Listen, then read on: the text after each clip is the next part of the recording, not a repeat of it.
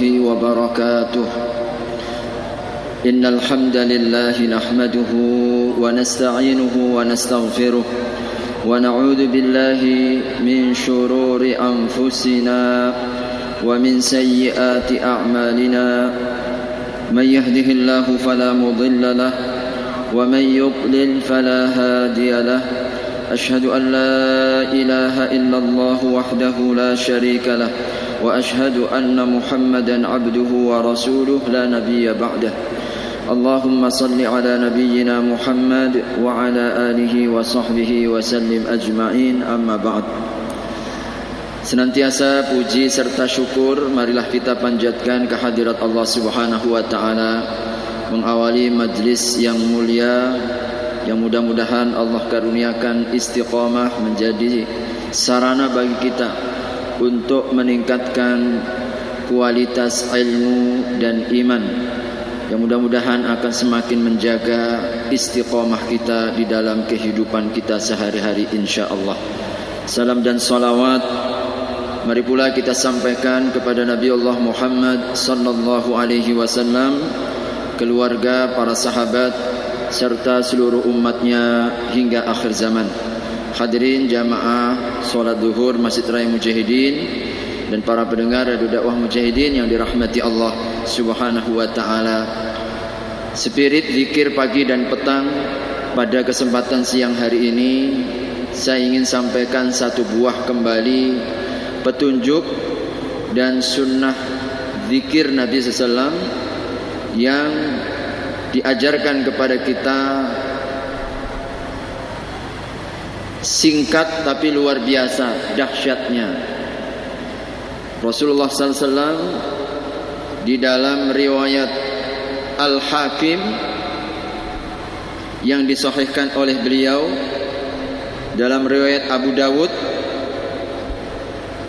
Meskipun Al-Albani beliau agak ragu untuk mensahihannya tetapi dimasukkannya dalam kitabnya silsilah sahihah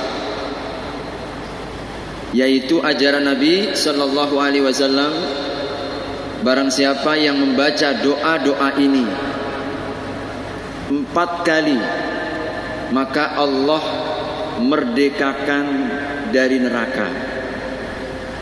Hadirin rahimakumullah doa apa itu? Allahumma inni asbahtu ushiduka wa ushidu hamalata arshika jami'a khalqika annaka antallahu la ilaha illa ant wa anna muhammadan abduka wa rasuluk ini zikir kalau dibaca empat kali maka insya Allah Allah akan merdekakan kita dari neraka. Subhanallah. Meskipun perbedaan pendapat di kalangan ulama ahli hadis, riwayat yang sahih dari Imam Al Hakim tidak menyebutkan asbahtu, tetapi dalam riwayat Abu Dawud disebutkan dengan asbahtu. Ada kalimat aku berpagi-pagi. Allahumma ya Allah Inni asbah asbahtu aku berpagi-pagi. Anni ushiduka sungguh aku mempersaksikanmu. Anna wa ashhadu hamalata arshika. Dan juga wa ushidu hamalata arshika. Dan aku mempersaksikan para malaikat-malaikat pemikul pemandu pemikul arasmu wa malaikataka dan juga seluruh malaikat-malaikatmu wa jami'a khalqika dan juga seluruh makhluk-makhlukmu. Aku bersaksikan aku kita hamba Allah manusia dan juga seluruh malaikat-malaikat pemikul arsy singgasana Allah dan seluruh malaikatnya dan seluruh makhluknya apa isi persaksian kita? Annaka antallah. Sesungguhnya engkau adalah Allah Subhanahu wa taala. La ilaha illa anta. Tidak ada tuhan kecuali engkau. Wa anna muhammadan dan sesungguhnya Muhammad abduka wa rasuluk adalah hambamu dan adalah rasulmu. Jadi kalau pagi kita baca asbahtu Allahumma asbahtu anni ushiduka wa ushidu hamalata arshika wa malaikataka wa jami'a khalqika annaka antallahu la ilaha illa anta wa anna muhammadan abduka wa rasuluk ulangi empat kali. Kalau sore tinggal ganti Allahumma amsaitu aku bersore-sore anni ushiduka wa ushidu hamalata arshika wa malaikataka wa jami'a khalqika. Annaka antallahu la ilaha illa anta wa anna muhammadan abduka wa rasuluk. Empat kali. Maka Rasulullah sallallahu alaihi wasallam berikan jaminan aqtaqahullahu minan nar. Allah akan merdekakan dia Allah akan bebaskan. Kita dijamin oleh Allah dikeluarkan dari api neraka. Alhamdulillah. Hadirin rahimakumullah sebuah ajaran petunjuk zikir doa yang sangat luar biasa. Intinya adalah mengokohkan kembali menancapkan kembali mempertajam meneguhkan menguatkan prinsip syahadatain kita. Intinya kan itu. Prinsip syahadatain kita. Asyhadu an la ilaha illallah wa asyhadu anna muhammadan rasulullah. Ini kita kuatkan lagi. Intinya kan itu. Bahwasanya kita bersaksikan engkau ya Allah adalah Allah Subhanahu wa taala dan Rasul Muhammad adalah hambamu dan utusanmu. Hadirin rahimakumullah tentu menzikirkan mengulang lagi mengingatkan lagi ini sangat memberi manfaat bagi keteguhan hati. Memberikan kekuatan untuk mengingatkan kita selalu dalam kehidupan. Bahwa dua kalimat inilah kalimat paling inti kalimat yang Allah Subhanahu wa taala jadikan bahwasanya sesungguhnya alam semesta ini tercipta karena untuk kalimat ini. Wa ma khalaqtul jinna wal insa illa liya'budun. Allah tidak ciptakan jin dan juga manusia kecuali untuk mentauhidkannya. La ilaha illallah. Allah utus semua utusan. Walaqad ba'attu walaqad ba'atna fi kulli ummatin rasulan an ya'budullah wajtanibut taghut.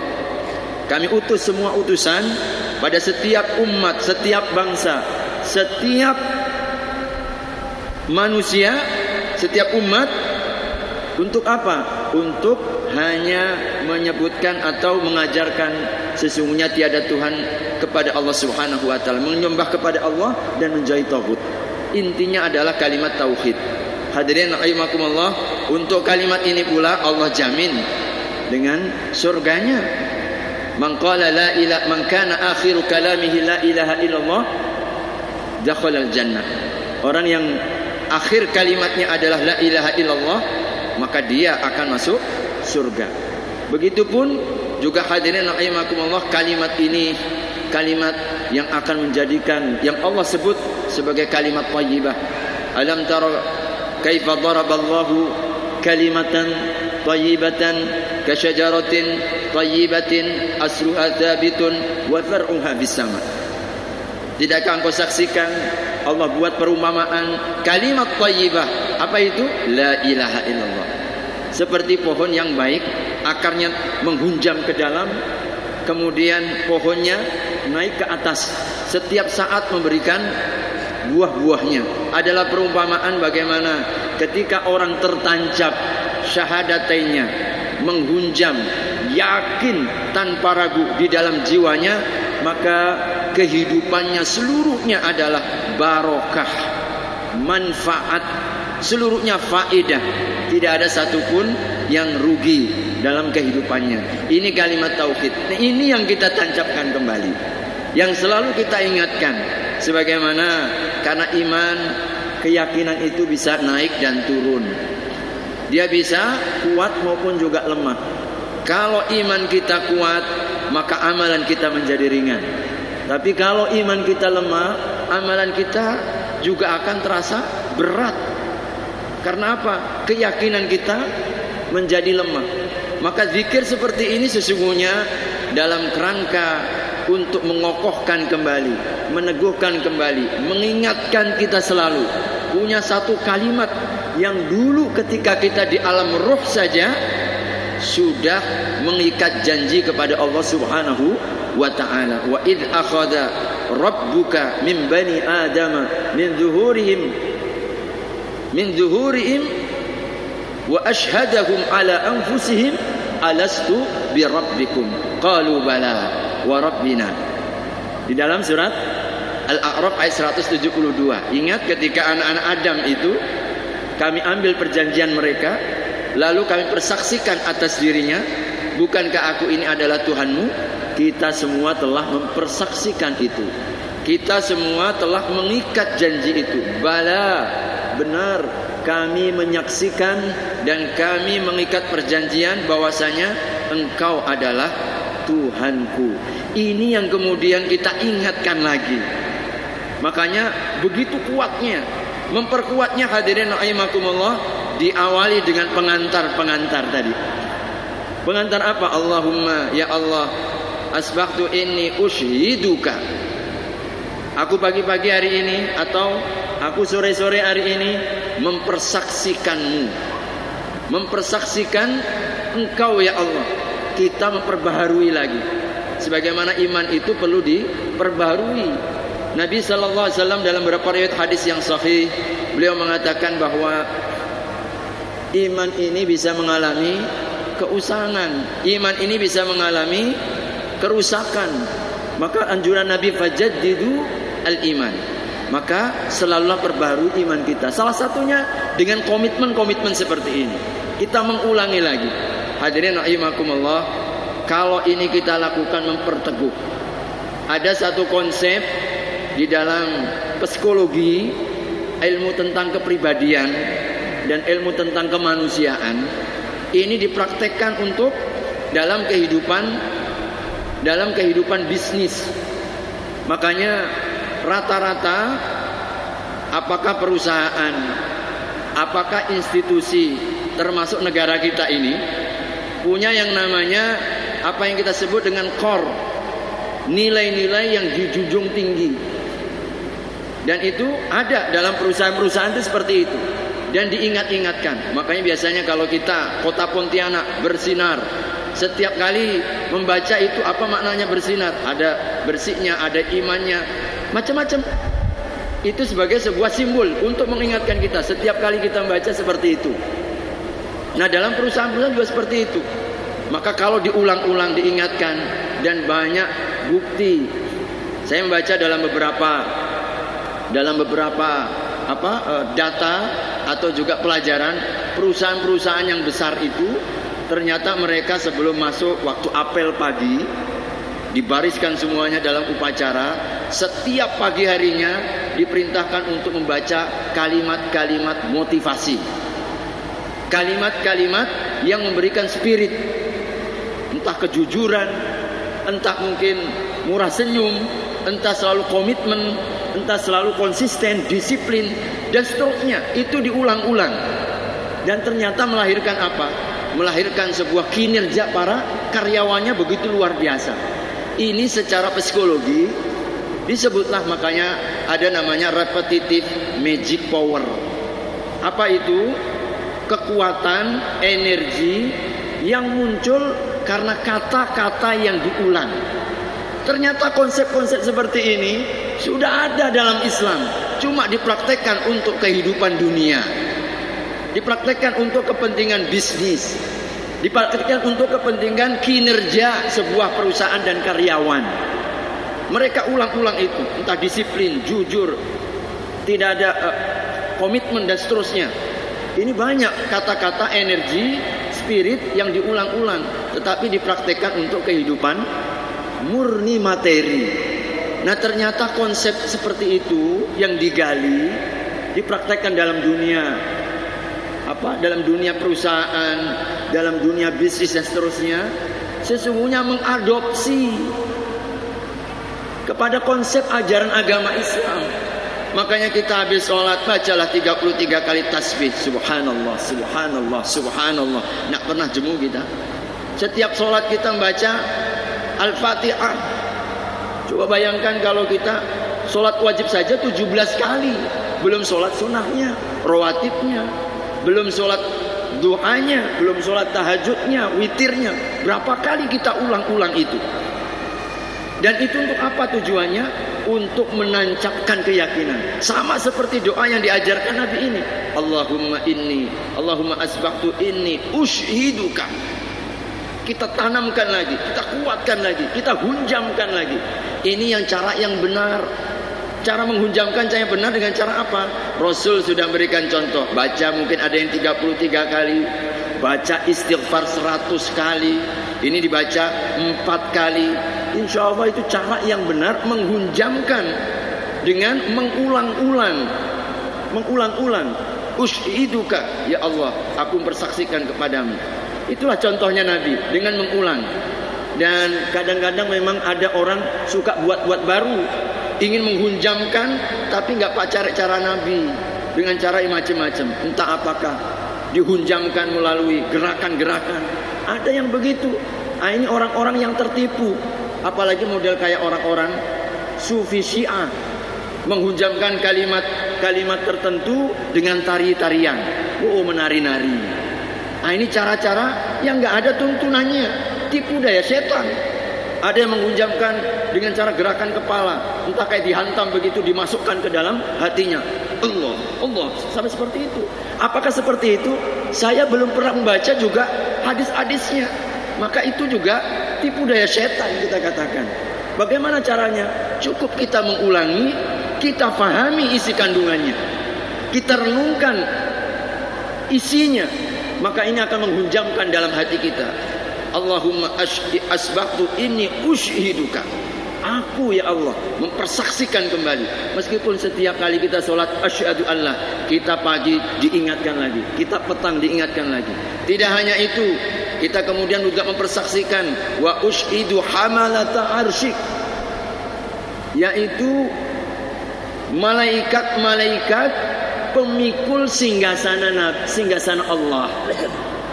Kita mempersaksikan pemikul singgasana Allah yang di dalam surat Al-Haqqah disebutkan wa yahmilu arsya rabbika fawqahum samaniyah maka pada hari itu singgasana Allah dipikul oleh delapan malaikat.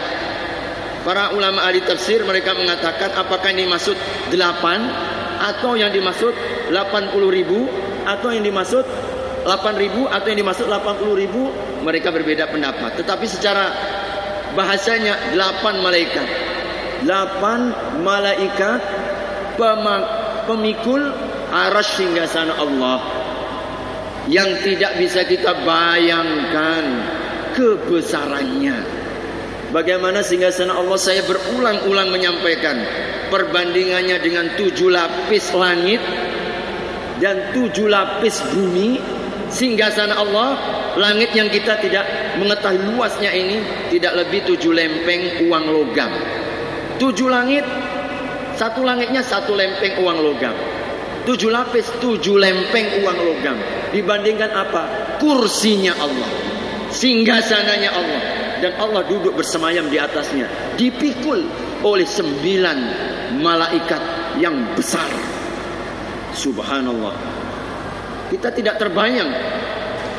Hadirin rahimakumullah. Bagaimana besarnya malaikat ini dan kenapa secara khusus malaikat pemikul arash yang Allah Subhanahu wa taala yang Nabi SAW ajarkan bahwa doa ini posisinya adalah kedudukan persaksian. Jadi posisi zikir ini adalah mempersaksikan bahwasanya Allah itu adalah Rabb alam semesta. Makomnya, kedudukannya zikir ini yaitu zikir mempersaksikan. Kita ini tidak bisa melihat secara langsung, tetapi malaikat maka mereka paling layak untuk mempersaksikan. Sebab apa? Mereka yang langsung bertemu dengan Allah. Mereka yang langsung berinteraksi dengan Allah Subhanahu wa taala. Malaikat-malaikat pemikul arash ini yang menjadi saksi. Dan saksi itu kan mesti adil. Saksi itu syaratnya adil. Para malaikat ini jelas keadilannya. Maka ketika kemudian kita mempersaksikan wa ushidu hamalata arsyik dan aku persaksikan bahwasanya malaikat-malaikat pemikul arasmu untuk kembali meyakinkan kebenaran Allah sebagaimana para malaikat-malaikatnya yang langsung mempersaksikan Allah Subhanahu wa taala. Lalu kemudian dilanjutkan wa malaikataka. Malaikat pada keseluruhannya. Malaikat pada umumnya. Lalu wa jami'a khalqika dan seluruh makhluk-makhlukmu. Ini pengantar doanya. Pengantar doanya kita mempersaksikan diri kita bersama para malaikat pemikul arash Allah seluruh malaikatnya dan seluruh makhluknya bahwasanya keseluruhannya satu tidak ada yang ragu bahwasanya antallahu la ilaha illa ant engkau adalah Allah yang tidak ada Tuhan kecuali engkau hadirin rahimakumullah inilah syahadat tauhid kita lalu kemudian syahadat risalah wa anna muhammadan abduka wa rasuluh.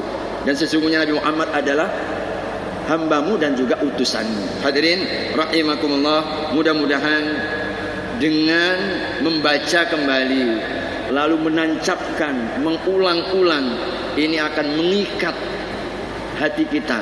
Hati kalau sudah bulat hati kalau sudah tekad penuh maka subhanallah ke rasa kebersamaan Allah ini sangat tinggi kalau kita sudah merasa yakin tidak ada ragu, terasa ringan semua yang kita hadapi. Tidak ada yang apa yang kita takuti yang akan terjadi di masa yang lalu. Kita pun juga tidak akan pernah bersedih hati tentang semua yang kita alami. Kita memiliki sebuah optimisme dan juga harapan besar kepada Allah Subhanahu wa taala. Kapan itu? Ketika konsep seperti ini, la ilaha illallah Muhammadur Rasulullah betul-betul tertanam. Tidak akan goyah kita. Tidak akan goyah kita. Maka ini yang kita perlukan. Keimanan kunci energi kita. Mudah-mudahan Allah Subhanahu wa taala memberikan kemudahan, taufik dan pertolongan untuk secara pelan-pelan pasti kita mengamalkan petunjuk-petunjuk yang luar biasa yang keseluruhannya adalah kunci-kunci kebaikan kita. Bayangkan pagi dan petang seperti ini kita sudah buka, kita kemudian tutup dengan sebuah zikir dan doa-doa yang membuat hati kita semakin tenang, semakin damai, semakin kokoh, semakin yakin, semakin teguh. Ini yang mudah-mudahan akan menjadi sebab tidak akan tanggal iman kita ini karena tantangan apa pun sehingga mampu kita pertahankan sampai kita meninggal. Maka inilah usaha-usahanya dan juga sebab-sebabnya. Mudah-mudahan Allah Subhanahu wa taala menjadikan amal yang bermanfaat, ilmu yang bermanfaat dapat kita amalkan dalam kehidupan kita sehari-hari insyaallah. Amin. Ya rabbal alamin wa sallallahu ala nabiyyina Muhammad. Kita tutup dengan doa kafaratul majlis. Subhanakallahumma وبحمدك أشهد أن لا إله إلا أنت أستغفرك وأتوب إليك. والسلام عليكم ورحمة الله وبركاته.